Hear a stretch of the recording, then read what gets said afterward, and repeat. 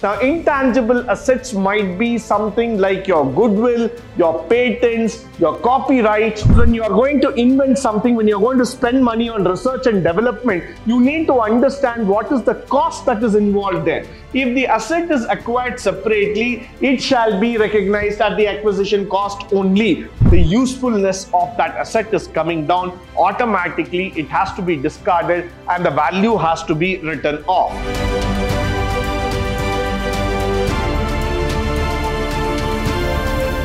Good morning and welcome to the session 2 of unit 3 of in international financial reporting standards where we are going to speak about the intangible assets. We are going to now speak about the inventories. So there is a lot of standards that are involved in this where we're going to speak about the Indian Accounting Standard 38 and the Indian Accounting Standard 2 which is very very important in terms of recording these functions Moving forward, let's try to understand the objective of AS 38, Accounting Standard 38 of Indian Accounting Standard is to prescribe the treatment for intangible assets that are not dealt with specifically any other Indian accounting standard. So what are we now trying to do is that we are now going to come into the standard where we are going to speak about the factor called as the Indian Accounting Standard 38, which is going to talk about the treatment of intangible assets. We have spoken about tangible. When we speak about property, land, plant, machinery, there is a accounting standard 16 that comes. But when we are talking about Indian Accounting Standard 38, then it is to be specifically in a different format and not with any other accounting standard. The standard requires an entity to recognize an intangible asset.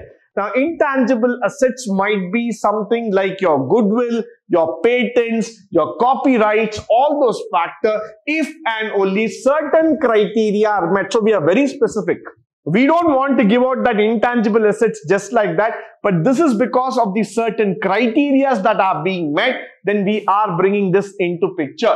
The standard also specifies how to measure the carrying amount of intangible assets that requires certain disclosures regarding the intangible assets. So this becomes very, very important for each one of us to understand, to measure and to find out how we are going to apply it. The scope here is that the Indian Accounting Standard 38 applies only to intangible other than financial assets, which is very, very important here. And any similar resources of intangible assets arising from the insurance or from any other point of view, which cannot be considered otherwise into the financial aspect because financially, when you speak about plant, machinery, land, or any other kind of equipment, these are all something which can be tangibly measured, uh, you know, in terms of factors saying like the fair value, the retrieval values and all together. But here, when we talk about intangibles,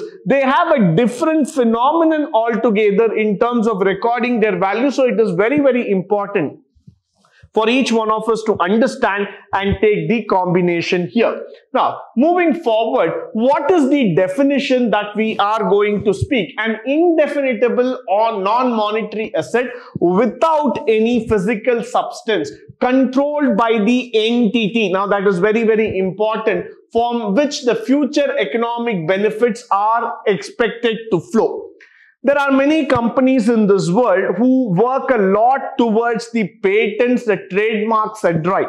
Now, if you look into the company called Intel, Texas Instruments, there are many companies like this who spend a lot of time and money in innovation applying their brain in order to derive a future technology that can drive the economic benefits to the organization. Now, all those things cannot be recorded. All those things cannot be easily set. So that's why what happens is that we record the entity, we try to understand and we bring in a recognition criteria altogether. Now, what is that recognition criteria? It says that the Indian Accounting Standard 38 requires the entity to recognize it as an intangible factor when purchased. So whenever you are going to get into it or self-created. Now that's very clear. Why? Because I have invented it. I have the patent. I have the trademarks rights on it and is it prob probable that the future economic benefits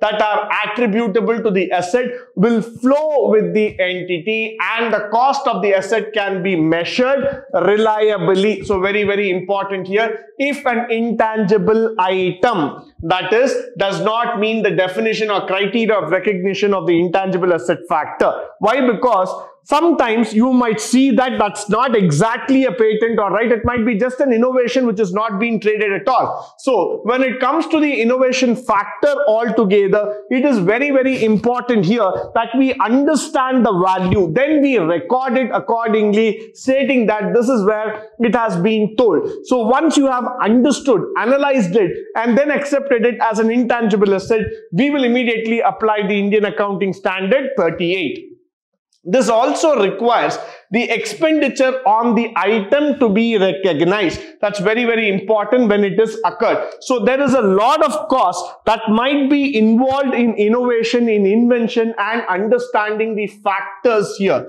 So it is very important for each one of us if to be recorded in terms what is the cost that is incurred? Because when you are going to invent something when you're going to spend money on research and development you need to understand what is the cost that is involved there. If the asset is acquired separately it shall be recognized at the acquisition cost only if the asset is acquired in a business combination or through a government grant, now you are going to get a government grant altogether, then the recognition should be at the fair value of the asset. Why? Because that's a grant, that's an external factor that's coming in into picture. If the asset is generated internally, the company itself has spent a lot of money on R&D and then they have developed the asset, then the expenditure incurred in each and every development phase has to be done through the recognition value.